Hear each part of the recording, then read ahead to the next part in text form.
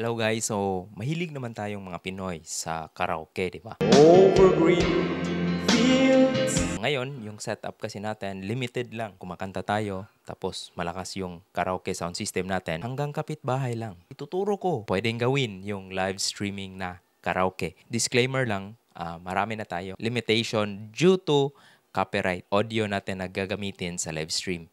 Pwede kasi stop ng mga social media. Kaya yun yung disclaimer natin. Simple mga gadgets na pwede natin gamitin para sa karaoke live streaming. Poses yung mala Pinoy idol, pwede nyo nang maipabahagi sa buong mundo. Not only sa kapitbahay nyo. Watch this video para sa mga step-by-step na tutorial. Gagawin natin yung setup ng two phones with a sound card. So, anong mga kailangan para sa ating karaoke live streaming? So, syempre, meron tayong isang, dalawang phone. One is for the karaoke, which will be derived. Tapos, yun, ito, pang live stream natin. Tapos, ito yung sound card na ginagamit natin. So, sound card siya. Check it out.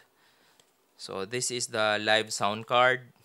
Tapos, ah, condenser mic para mas maganda yung boses, mas capture. Tapos yung mga cables na needed. And sa dito, since my phone are Type-C, kailangan ko ng 3.5 na connector papunta dito sa cellphone. Kasi yung mga kable dito sa sound card is mga naka 3.5. Kaya gumagamit ako ng ganito.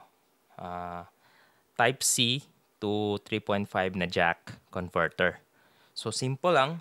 Ah, pinaka main ah, tapos yung headset, ito yung pang monitoring natin sa live streaming kung anong naririnig ng mga audience. Okay? So yun. Ah, simple is to connect the ito ito yung gagamitin natin pang live streaming. Ito naman yung karaoke. So ito magpe-play ka ng kung meron kang phone na extra, yun. Pwede rin phone or PC or tablet aside dito. So, ito setup lang natin. So, connect lang dito. Si karaoke na phone, dito mo ilalagay sa accompany. So, accompany. Tapos, accompany ng sound card.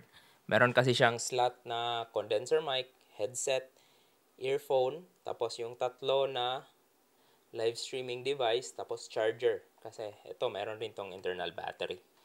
So, for the live stream phone, kuha rin tayo ng isang Type-C.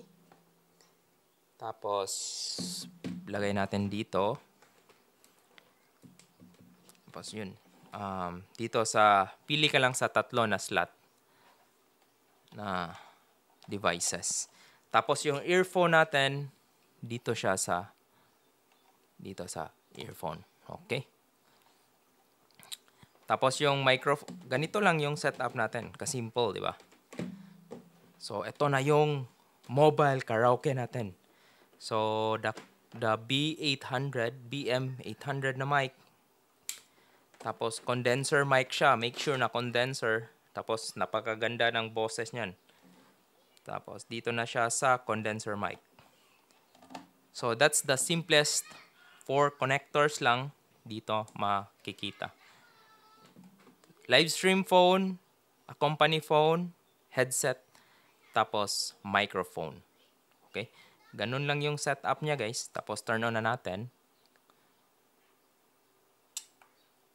So yun, nag-start na yung ano natin.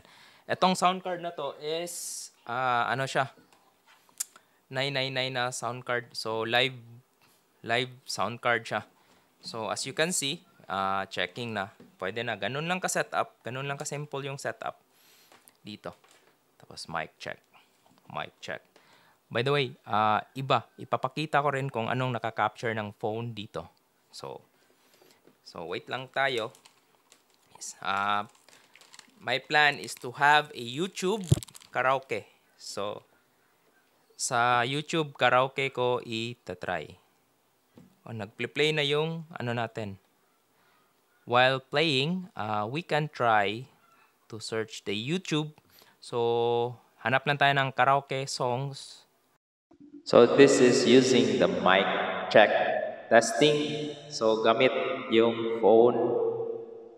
By the way, this is just the setup that I've been sharing.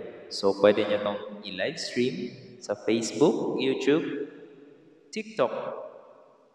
So gamitin nyo lang yung live stream na app sa phone nyo na ginagawang live stream. While ito, a company phone, dito, derive yung music. So this is just a sample. So try natin kung kaano ka-effective. Turn me loose from your hand. That's the demo using the sound card that I'm sharing with you. So ito, naka-wireless. Meron siyang battery built-in kaya pwede niyang gamitin. So ganun lang yung setup para may broadcast nyo yung wireless na microphone or your wireless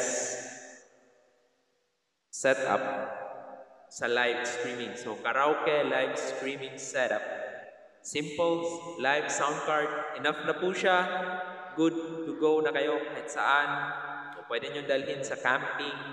Just make sure you have a monitoring and enough batteries with your ano.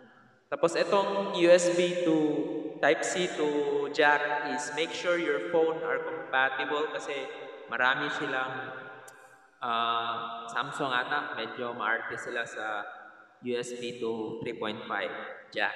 Okay? Support this channel for more karaoke tips